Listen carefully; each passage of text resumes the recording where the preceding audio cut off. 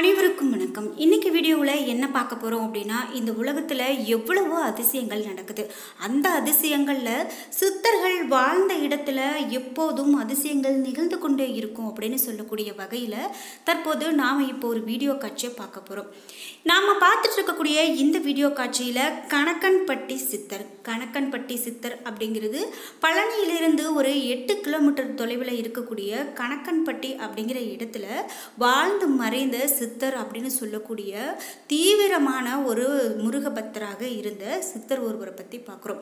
இந்த சித்தர் அப்படிங்கிறவர் இருக்கக்கூடிய இடத்துல அமாவாசை பௌர்ணமி புனர்பூசம் போன்ற விசேஷ நாட்களில் அபிஷேகம் ஆராதனைகள்லாம் நடக்கக்கூடியது. இங்கே வழக்கமாக இருந்துட்டு வரக்கூடிய விஷயம். அந்த வகையில் பல அடியார் பெருமக்கள் கணக்கன்பட்டு சித்தருக்கு பூஜை செய்து வராங்க. இந்த நிலையில் தற்போது அமாவாசை பூஜை நடக்கும்போது அந்த அந்த ஜீவ சமாதியில் இருந்து கணக்கன்பட்டி சித்தர் நேரில் காட்சி கொடுத்தார் அப்படின்னு சொல்லக்கூடியதா? இந்த வீடியோ காட்சி ரொம்பவே வைரலாக போயிட்டுருக்கு அப்படின்னு சொல்லலாம். அதை தான் நாம் இப்போ பார்த்தோம். நீங்களும் கணக்கன்பட்டி போயிட்டு வந்திருக்கீங்க. கணக்கன்பட்டி சித்தர் உங்களுடைய வாழ்க்கையிலையும் ஒரு அதிசயத்தை ஏற்படுத்தி இருக்காரு அப்படின்னா மறக்காமல் கீழே கமெண்ட் பாக்ஸில் பதிவிடுங்க. இந்த வீடியோ பார்த்துட்டு இருக்கக்கூடிய உங்களுக்கு இவரை பிடிக்கும் அப்படின்னா மறக்காமல் வீடியோக்கு லைக் பண்ணிவிட்டு கீழே கமெண்ட் பாக்ஸில் ஓம் முருகா அல்லது கணக்கன்பட்டி சித்தருக்கு சரணம் என்ற சில வாசகங்களை பதிவிடுங்க. கண்டிப்பாக நம்ம எல்லோருக்குமே மிக பெரும் நன்மைகள் நடக்கும். இந்த வீடியோவில் கணக்கன்பட்டி சித்தர் நிகழ்த்திய பல அதிசயங்களை பார்க்க போகிறோம் வீடியோ உங்களுக்கு மிகவும் பயனுள்ளதாக இருக்கும். கடைசி வரைக்கும் ஸ்கிப் பண்ணாமல் முழுசாக பாருங்கள் நீங்கள் இன்னும் உற்சாகம் டிவி சேனலை சப்ஸ்கிரைப் பண்ணாமல் இருந்தால் சப்ஸ்கிரைப் பண்ணிக்கோங்க. கூடவே இருக்க பெல்லைக்கான மறக்காமல் கிளிக் பண்ணிடுங்க வாங்க வீடியோக்குள்ளே போகலாம்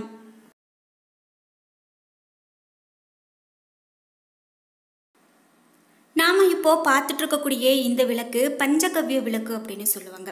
பொதுவாக நம்ம வீட்டில் ஒரு கஷ்டம் இருக்குது அல்லது ஒரு சுபகாரியம் நடக்கவே இல்லை தடைப்பட்டுட்டே இருக்குது நம்ம நினச்ச காரியெல்லாம் நடக்கலை அப்படின்னு இருக்கும்போது அந்த வீட்டில் கண்டிப்பாக எதிர்மறை சக்திகளோ ஏதோ ஒரு தீயது அங்கே இருக்குது அப்படின்னு அர்த்தம். அப்படி இருக்கும்போது ஹோமம் நடத்துறது வழக்கம். அப்படி எல்லோராலையும் ஹோமம் நடத்துவது அப்படிங்கிறது சாத்தியம் கிடையாது.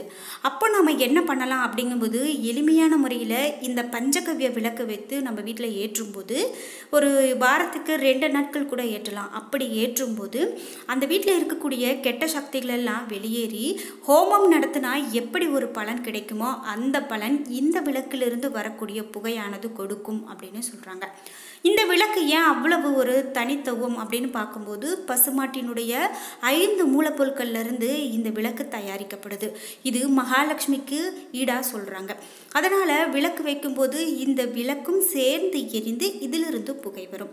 இந்த விளக்கு உங்களுக்கு வேணும் அப்படின்னா ஸ்க்ரீனில் தெரிகிற இந்த நம்பருக்கு தொடர்பு கொள்ளுங்கள் கண்டிப்பாக உங்களாலையும் வாங்கி பயன்படுத்திக்க முடியும். இது ரொம்பவே ஸ்பெஷலானது பொதுவாகவே சித்தர்கள் மனிதர்களோட வாழ்ந்து மனிதர்களுக்கு சூட்சம ரீதியாக அவர்களுக்கு நிறைய நன்மைகளை கொடுக்கக்கூடியவங்க அவர்களுக்கு காட்சி கொடுக்கக்கூடியவங்க நிறைய அற்புதங்களை கொடுக்கக்கூடியவர்கள் சித்தர்கள் அப்படின்னு சொல்லலாம். அந்த வகையில் தற்போது இந்த கணக்கன்பட்டி சுவாமி அப்படிங்கிறவர் உலகம் முழுவதும் ரொம்பவே பிரசித்தி பெற்று விளங்கக்கூடிய ஒரு இடமாக மாறி இருக்கு அப்படின்னு சொன்னால் அது மிகையாகாது. ஏன் அப்படின்னா தினந்தோறும் இங்கே நிறைய பக்தர்கள் வந்து வழிபட்டுட்டு போகிறாங்க அதிலும் குறிப்பிட்டு அனுபவ ரீதியாக இந்த இடத்துக்கு வந்து மனதார அந்த கணக்கன்பட்டி சுவாமியை வழிபட்டுட்டு போனாங்க அப்படின்னா அவர்கள் வைத்த வேண்டுதல் நிச்சயமாக நிறைவேறுகிறது அப்படிங்கிறது தான் இன்றைக்கி நிறைய பேர் சொல்லக்கூடிய ஒரு விஷயமா இருக்குது அப்படின்னு சொல்லலாம். அந்த வகையில் கணக்கன்பட்டி சுவாமி அப்படின்னு பார்க்கும்போது இவரை அழுக்கு மூட்டை சுவாமி அப்படின்னு சொல்கிறாங்க மூட்டை சுவாமி அப்படின்னு சொல்கிறாங்க நிறைய விஷயங்கள் இவரை பற்றி சொல்லிக்கிட்டே போகலாம். குறிப்பாக அவர் பயன்படுத்திய ஒவ்வொரு பொருளும் கூட என்று பக்தர்களுக்கு காட்சி கொடுக்கிறது அப்படின்னு சொன்னால் அது மிகையாகாது. அந்த வகையில் இந்த கணக்கன்பட்டி சுவாமியை பார்க்கறதுக்காக நிறைய பக்தர்கள் வந்து பழனியில் வழிபட்டுட்டு போகிறாங்க அப்படின்னு சொல்லக்கூடிய விஷயம் இருக்குது அவர் வாழ்ந்த வீடு அப்படிங்கிறது இன்றைக்கும் நிறைய பக்தர்கள் போய் பார்த்துட்டு வரக்கூடிய இடமா இருக்குது அந்த இடத்துக்குள்ளே நம்ம போனோம் அப்படின்னா கூட அவர் அங்கே இருக்கிறத நம்மளால் உணர முடியும் அப்படின்னும் இது எல்லா பக்தர்களுக்கும் கிடைக்காத ஒரு விஷயம் அப்படின்னு கூட சொல்கிறாங்க இப்போது அந்த சுவாமி நடந்து வந்த ஒரு காட்சி அப்படின்னு பார்க்கும்போது கூட இது எல்லா பக்தருக்குமே நடக்காதான். அங்கு போகக்கூடிய ஒரு சிலருக்கு மட்டும் அவர் இப்படி காட்சி கொடுக்கிறார் அப்படின்னு சொல்லக்கூடிய விஷயம் ரொம்பவே நமக்கு மெய் சிலிர்ப்பை ஏற்படுத்தக்கூடிய விஷயமா இருக்கு அப்படின்னு கூட சொல்லலாம். இது போன்ற ஒரு அற்புதத்தை நீங்களும் உணர்ந்திருக்கிறீங்க அப்படின்னா மறக்காம உங்களுடைய கருத்துக்களை கமெண்ட் பாக்ஸில் சொல்லுங்கள் பொதுவாகவே கடவுள் அப்படிங்கிறவரை நாம் உருவமாக பார்த்துருப்போம். ஆனால் இந்த கணக்கன்பட்டி சுவாமி அப்படிங்கிறவர் மக்களோடு மக்களாக இருந்து வாழ்ந்து ஜீவ சமாதி அடைந்து இப்போது மக்களுக்காக இவர் கடவுளாகி இருக்கிறார் அப்படின்னு சொல்லக்கூடிய வகையில் இங்கே நிறைய பக்தர்கள் வந்து நாள்தோறும் வழிபட்டு போகிறத நம்மளால் பார்க்க முடியுது. இந்த வீடியோ பார்த்துட்ருக்க நீங்கள் கணக்கன்பட்டி சுவாமிக்கு போற்றி என்ற வாசகத்தை கமெண்ட் பாக்ஸில் பதிவிடுங்க. நிச்சயமாக அவருடைய அருள் நம்ம எல்லோருக்குமே கிடைக்கும் அப்படின்னு சொல்லலாம். பொதுவாகவே இந்த கோவில் எங்கே இருக்குது அப்படின்னு பார்க்கும்போது பழனியில் இருந்து எட்டு கிலோமீட்டர் தொலைவில் இந்த சுவாமியினுடைய ஜீவசமாதி அமைஞ்சிருக்கு. இங்கே நம்ம போனோம் அப்படின்னா ஒரு பச்சை கலர் பையில் அவருக்கான அதாவது சுருட்டு ஜூஸு ஊதுபத்தி இது போன்ற பொருட்களை எல்லாம் விற்கிறாங்க இதை நம்ம வாங்கிட்டு போய் கொடுத்தோம் அப்படின்னா அது பூஜையில் வைத்து வைக்கப்பட்டு அது சுவாமிக்கு கொடுக்கப்படுது.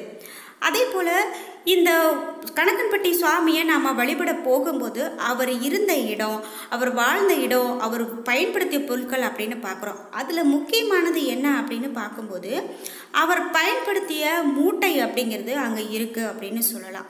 அது மட்டும் இல்லாமல் இங்கே நாம் பார்க்கும்போது மு விரிய மரம் அப்படின்னு சொல்லக்கூடிய ஒரு மரம் இங்கே இருக்குது அந்த விரிய மரத்தை பற்றி என்ன சொல்லப்பட்டிருக்கு அப்படின்னா ஒரு மிகப்பெரிய ஒரு போர்டு ஒன்று வச்சுருக்காங்க. அந்த இடத்துல பகவான் பாதம் பதித்த புனித பூமியில் அவர் நமக்காக தந்திருக்கக்கூடிய அரும் பொக்கிஷங்களில் இந்த விரிய மரமும் ஒன்று அதை காயப்படுத்தும் போது அவருடைய இலைகளை சேதப்படுத்துவதும் அவருக்கு பிடிக்காது அப்படின்னு சொல்லி சொல்லியிருக்காங்க.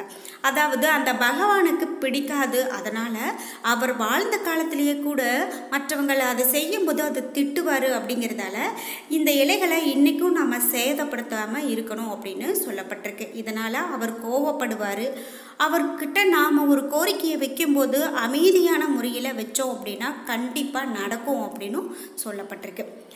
அப்படியே நாம் அந்த ஜீவசமாதிக்கு அருகில் ஒரு பெரிய மரம் ஒன்று இருக்குது அப்படின்னு பார்த்தோம்.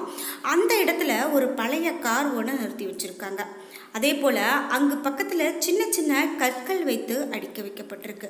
அது என்ன அப்படின்னு பார்க்கும்போது அந்த கற்கள் அடிக்க வைக்கப்பட்டிருக்கக்கூடிய இடத்துல நாமளும் போய் அங்கே கற்கள் அடிக்க வைத்து நம்மளுடைய வேண்டுதல்களை வச்சோம் அப்படின்னா அது நிச்சயமாக நிறைவேறும் அப்படிங்கிறது சொல்லப்படுது. இதே போல் அந்த கற்களை அடிக்க வைத்து விட்டு நம்ம வீடு கட்டணும் அப்படின்னு நினச்சிக்கிட்டோம் அப்படின்னா கண்டிப்பாக அந்த வீடு கட்டக்கூடிய கனவு நிறைவேறும் அப்படின்னு சொல்கிறாங்க இது நாம் நிறைய கோவில்களில் பார்த்துருப்போம். குறிப்பாக முருகன் இருக்கக்கூடிய முருகன் குடிக்கொண்டிருக்கக்கூடிய இடங்கள்ல எல்லாம் அங்கே சின்ன சின்ன கற்கள் அடிக்க வைக்கிறத நம்ம பார்த்துருப்போம். குறிப்பாக பழனி இது போன்ற கோவில்களில் கற்கள் அடுக்கி வைத்து வழிபடுவோம். நாம் வீடு கட்டணும் அப்படிங்கிற கனவை நாம் அந்த கடவுள்கிட்ட எடுத்து சொல்லும் விதமாக அந்த கற்கள் அடுக்கி வைக்கிறது வழக்கமாக இருக்கும்.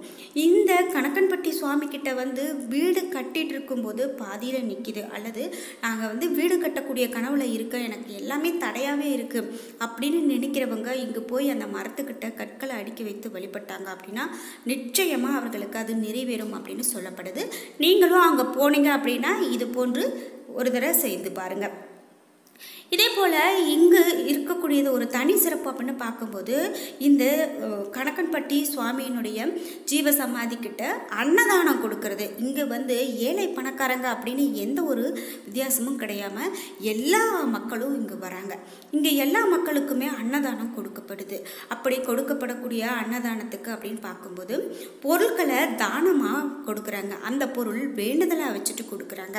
அதாவது நாம் ஒரு காரியத்தை மனதில் வச்சுட்டு நேர்த்தி கடன் செலுத்துறது போல் இந்த க இது நிறைவேறும் போது நாம் அதை அந்த பொருட்களை வாங்கி கொடுத்தோம் அப்படின்னா அது ம மக்களுக்கு ஒரு தானமாக போய் சேருது. அப்படி இருக்கக்கூடிய அந்த அன்னதானத்திற்காக நிறைய பக்தர்கள் இங்கே வந்து நிறைய பொருட்களை வாங்கி கொடுக்கறத நம்மளால் பார்க்க முடியும் அப்படின்னு சொல்லலாம். இது போல் இங்கே நம்ம போயிட்டு நம்ம வழிபட்டுட்டு வரும்போது நிச்சயமாக அவர் நமக்கு அருள் புரிவார் அப்படின்னு சொல்லப்படுது. இவர் நிகழ்த்திய அற்புதங்கள் அப்படின்னு நாம் அங்கே ஊர் பக்கம் கேட்கும்போதே நிறைய விஷயங்களை சொல்கிறாங்க அதே போல் அவர் வாழ்ந்த இடம் அப்படின்னு பார்க்கும்போது அவருடைய வீடு. அந்த வீட்டுக்கு இன்றைக்கும் பக்தர்கள் நீண்ட வரிசையில் நின்று அந்த வீட்டுக்குள்ளே போய் வழிபட்டுட்டு வர்றதை நம்மளால் பார்க்க முடியும். இப்படியெல்லாம் இந்த கணக்கன்பட்டி சுவாமியை வழிபடக்கூடிய பக்தர்கள் செய்யும்போது அங்கே நிறைய அற்புதங்கள் நடக்குது அப்படின்னு தான் சொல்லணும். நீங்களும் இது போல் சென்று வழிபட்டீங்க அப்படின்னா நிறைய நன்மைகள் கிடைக்கும் அப்படின்னா அது மிகையாகாது அப்படின்னு சொல்லலாம். குறிப்பாக இங்கு பூஜைகள் செய்யப்படக்கூடிய நேரம் அப்படின்னு பார்க்கும்போது மற்ற நாட்களில் செய்யக்கூடிய பூஜைகளை காட்டிலும் பௌர்ணமி நாட்களில் நிறைய பக்தர்கள் இங்கே வந்து வழிபடுறாங்க அப்படின்னு சொல்லலாம். ஏன் அப்படின்னா இந்த அமாவாசை பௌர்ணமி நாட்களில் நிறைய சிறப்பு அப்படின்னு சொல்லலாம். குறிப்பாக காலை ஐந்து முப்பது மணிக்கு நடை திறப்பு ஐந்து ஐம்பது மணிக்கு கோமதா பூஜை ஆறு மணிக்கு சத்குரு பூஜை பன்னெண்டு மணிக்கு உச்சிக்கால பூஜை ஆறு மணிக்கு சாயரட்சை பூஜை ஒன்பது மணிக்கு நடை திறப்பு இது நடை அடைப்பு இவையெல்லாம் நடக்குது. இது போன்று பூஜைகள் நடக்கிறத நம்மளால் பார்க்க முடியுது.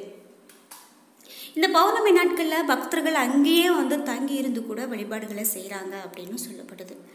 இப்படியாக இந்த கணக்கன்பட்டி சுவாமிக்கு நிறைய அற்புதங்கள் இன்றைக்கும் அங்கே நடந்துட்டுருக்கு அப்படின்னு சொல்கிறதால நமக்கும் இதுக்கு ஒரு நேரம் அமையும் போது கண்டிப்பாக இங்கே சென்று வழிபட்டு வர்றது மிகவும் நல்லது.